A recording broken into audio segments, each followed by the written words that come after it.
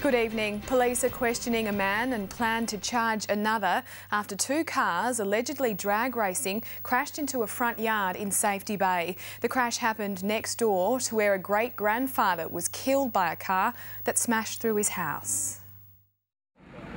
The end of a high speed drag race down a residential street. Police say about 11pm last night, both drivers veered off Georgetown Drive and smashed their cars into the front yard of this home.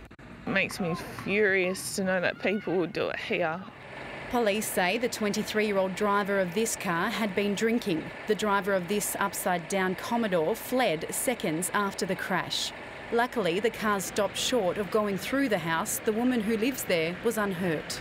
Witnesses have told police the two cars were drag racing. They started at the end of the street, almost a kilometre away, picking up speed. And by the time they realised that this island was here, it was too late.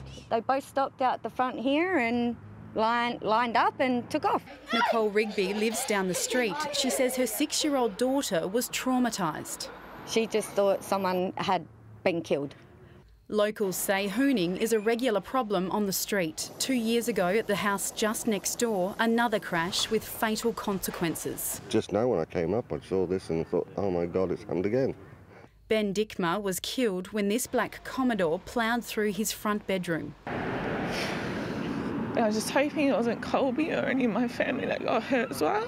19 year old Ashley Gregory now can't face getting her driver's licence since her good friend and neighbour was killed. At least the lady got out safe and no one got um, seriously hurt like last time.